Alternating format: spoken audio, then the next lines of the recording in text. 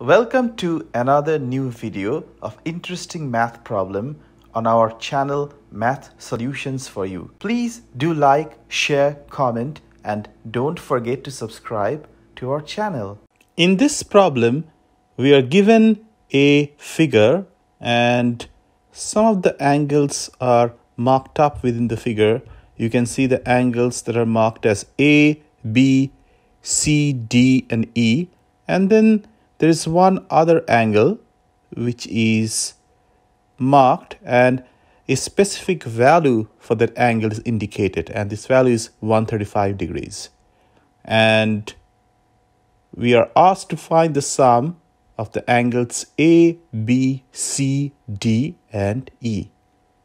Now this problem with all the corners and all the shapes involved within may look complex so there's a pentagon in the middle that you can see, and then there are five triangles on the outside.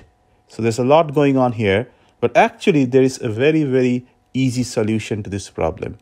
Provided you know and apply a theorem that basically states that the sum of exterior angles of any convex polygon will be equal to 360 degrees. And by convex polygon, I mean that none of the interior angles exceed 180 degrees. So we don't have a reflex angle situation in any of those interior angles of the polygon. And this is true for any convex polygon, no matter what the number of sides is, it may be 5 or 6 or 7 or 8, the sum of the exterior angles of the polygon should be always equal to 360 degrees as long as the polygon itself is a convex polygon. Now, if you look at this figure, in the middle, we basically have a five-sided convex polygon. It's a pentagon, right? And one of the first things that we can do is mark up what the exterior angles of this pentagon are. So one of those exterior angles is marked by that green P and similarly we can mark the other exterior angles.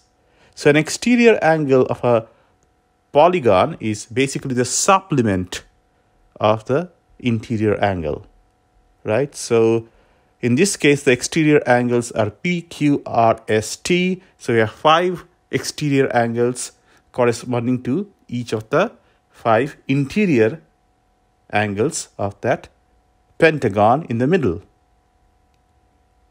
And going by this theorem, the sum of P, Q, R, S, and T should be equal to 360 degrees. So you can write this equation that P plus Q plus R plus S plus T is 360 degrees.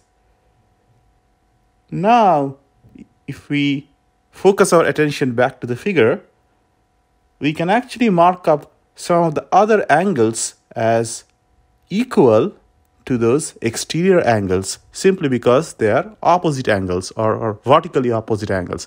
So when, you, when two straight lines intersect each other, then the angles, the opposite angles, sometimes they're called the vertically opposite angles, they should be equal. So that's a very fundamental theorem in Euclidean geometry. So let's mark up some of these vertically opposite angles in the figure. So we have there the two vertically opposite angles, each equal to P. Then we have these two vertically opposite angles, each equal to Q. Similarly, two vertically opposite angles equal to R and the same for S and T. So now that we have finished marking up all the angles, we basically take the collective sum of the angles of the five triangles on the outside. And that collective sum would be basically a plus b plus c plus d plus e. And in that sum each of those exterior angles will make it make its appearance twice. So we can write the collective sum of the angles of those five triangles on the outside as a plus b plus c plus d plus e plus 2 times p plus q plus r plus s plus t. Now, we know that the sum of the angles of any one triangle is 180 degrees.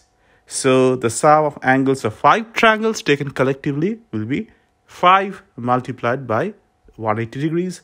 So we can write this that a plus b plus c plus d plus e and notice that I have replaced p plus q plus r plus s plus t by 360 degrees because that's the sum of the exterior angles of the pentagon. So that should be equal to 360. So on the left hand side, I have a plus b plus c plus d plus e plus 2 times 360 degrees.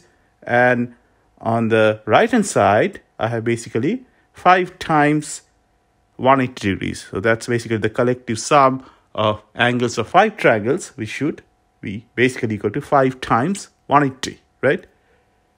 And now it becomes a simple matter of evaluating what the sum a plus b plus c plus d plus e will be. So it's simply 900 degrees minus 720 degrees, and that comes to 180 degrees. So the correct answer for this will be 180 degrees, or if you are expressing your answer in radians, it will be simply pi radians.